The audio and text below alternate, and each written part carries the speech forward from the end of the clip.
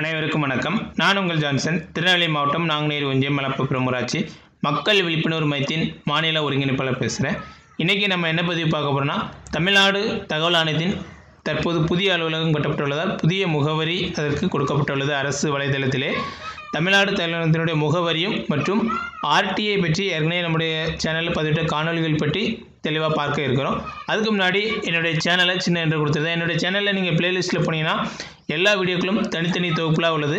முதலமைச்சர் முதலில் கையெழுத்திட்ட ஐந்து திட்டங்கள் குடும்ப அட்டை சம்பந்தமாக ஒன்பது காணொலிகள் கவர்மெண்ட் ஆன்லைன் வெப்சைட் சம்பந்தமாக தொண்ணூற்றி மூணு காணொலிகள் கிராம சபை ஆலோசனை சம்பந்தமாக ஏழு காணொலிகள் கோவிட் நைன்டீன் அரசு திட்டங்கள் குறித்து ஐம்பத்தி நாலு காணொலிகள் கிராம வளர்ச்சி திட்டம் குறித்து பத்து காணொலிகள் ஆர்டிஐ குறித்து இருபத்தெட்டு காணொலிகள் கிராம சபை தொகுப்பு சம்பந்தமாக அறுபத்தி ஏழு காணொலிகள் என்னுடைய வீடியோக்கள் பிடிச்சதா லைக் பண்ணுங்கள் கமெண்ட் பண்ணுங்கள் தொடர்ந்து உங்களுக்கு ஒன்றா மறக்காமல் சப்ஸ்கிரைப் பண்ணி பெல் பட்டனை ப்ரெஸ் பண்ணுங்கள் பயனுள்ள இருந்தால் மற்றவங்களுக்கு ஷேர் பண்ணுங்கள் வாங்க வீடியோக்குள்ள கண்டென்ட்டுக்குள்ளே போகும் தமிழ்நாடு இன்ஃபர்மேஷன் கமிஷன் தமிழ்நாடு தகவல் ஆணையத்தினுடைய அதிகாரப்பூர்வ முகவரி TNSCC dot government dot in இந்த வெப்சைட்டோட லிங்க் வந்து என்னுடைய வீடியோவில் டிஸ்கிரிப்ஷனில் இருக்கும்.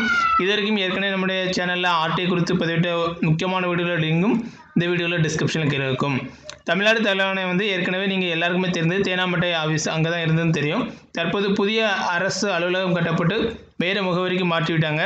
இனி நீங்கள் தமிழ்நாடு தகவல் ஆணையம் சம்மந்தப்பட்ட பதினெட்டு ஒன்று புகார் இல்லைன்னா மேல்முறையீடு பத்தொம்பது மூணு புகார் அந்த மேல்முறையீடு எல்லாமே புதிய முகவரிக்கு தான் அனுப்பணும்.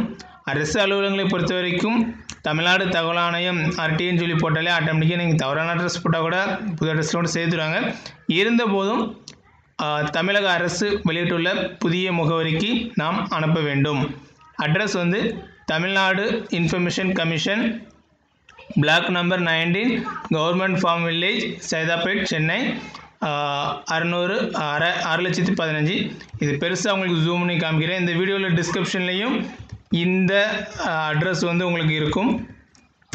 இப்போ அடுத்தது வந்து நம்ம ஆர்டிஐ நம்முடைய சேனலில் இருபத்தைந்து கனல்கள் போட்டிருக்கோம். அது என்னென்ன போட்டிருக்குங்கிறத தெளிவாக பார்க்க இருக்கிறோம்.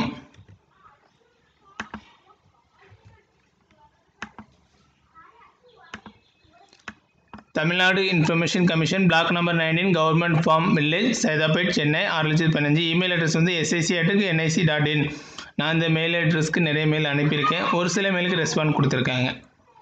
ஓகே நம்முடைய சேனலில் ஏற்கனவே இருபத்தைந்து ஆர்டிஐ காணொலிகள் பதிவிட்டுருக்குன்னு சொல்லி முதல்ல குறிப்பிட்டேன். இருபத்தெட்டு காணொலிகள் அது என்னங்கிறத பார்க்க இருக்கிறோம். முதல்ல தகவல் அறியும் உரிமை சட்டம்னா என்னன்னு சொல்லி முக்கிய பகுதி பிரிவுகளுக்கான விளக்கம் சொல்லி ஒரு காணொலி வெளியிட்டிருக்கோம். ஆர்டிஐயில் முக்கிய தகவல்கள் கவர்மெண்ட் வெப்சைட்டில் என்ன தகவல்லாம் இருக்குன்னு சொல்லி ஒரு காணொலி வெளியிட்டிருக்கோம். கிராம நிர்வாக அலுவலகம் சம்மந்தமாக ஆறாயிரம் பக்க காணொலிகள் வாங்கியிருந்தேன். ஆறாயிரம் பக்க ஆவணங்கள் அது குறித்து ஒரு காணொலி வெளியிட்டிருக்கோம். தகவல் அறியும் உரிமை சட்டம் முக்கிய பிரிவுகளுக்கான விளக்கம் சொல்லி ஒரு வீடியோ காணொலி வெளியிட்டிருந்தோம். ஆர்டிஐ மூலமாக கிராம சபை தீர்மான நகலை எப்படி வாங்கலாங்கிற ஒரு காணொலி வெளியிட்டிருந்தோம். பத்தொம்போது எட்டு பி தெரிஞ்சால் இழப்பீடு எப்படி வாங்கலாங்கிறது ஒரு காணொலி வெளியிட்டிருந்தோம். ஆன்லைன் மூலமாக பீட்டா வெர்ஷன் எப்படி பயன்படுத்தலாங்கிற ஒரு காணொலி வெளியிட்டிருந்தோம். டூ ஜே மற்றும் எப்படி ஆன்லைன் அந்த வெப்சைட் பீட்டா வெர்ஷனை பயன்படுத்தலாம்னு சொல்லி ஒரு காணொலி வெளியிட்டிருந்தோம். இரண்டாம் மேல்முறையீடு அனுப்பும் முன்னாடி கவனிக்க வேண்டியதுன்னு சொல்லி ஒரு காணொலி வெளியிட்டிருக்கோம். டூ ஜே ஆய்வு பண்ணுறதுக்கு எப்படி கடிதம் எழுத எழுதணுங்கிற ஒரு காணொலி வெளியிட்டிருந்தோம். ஆய்வு பண்ண ஒரு வீடியோவை வெளியிட்டிருக்கிறோம். முதல் மேல்முறையீடு எப்படி பண்ணணும்? இரண்டாம் மேல்முறையீடு எப்படி பண்ணணும்? மாதிரி மனுவனுடைய ஃபுல்லாக தெளிவாக விளக்கம் கொடுத்துருப்போம். பட்டா மே பெயர் மாற்றம் செய்த ஆவணங்களை எப்படி வாங்கலாம்?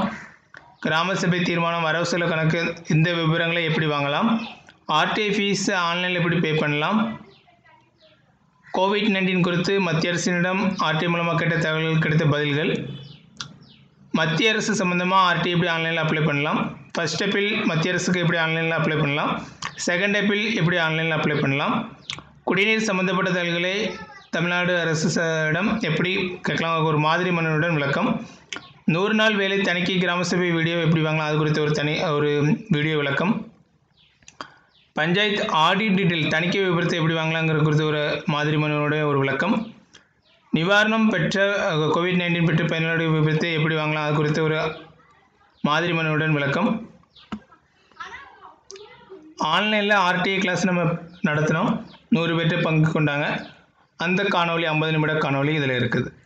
டைம் கிடைக்கும் போது இந்த தகவல் அறியும் உரிமை சட்டம் சம்மந்தமாக இருபத்தி ஐந்துக்கும் மேற்பட்ட பயனுள்ள காணொலிகள் இதில் பதிவிட்டிருக்கோம்.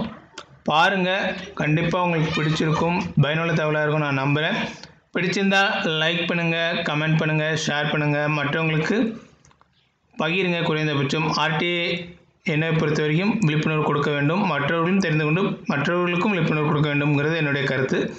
தொடர்ந்து என்னுடைய பதிவில் வரணும் மறக்காமல் சப்ஸ்கிரைப் பண்ணி பெல் பட்டன் பிரசுங்க அடுத்த ஒரு நல்ல பதிவில் சந்திப்போம். நன்றி.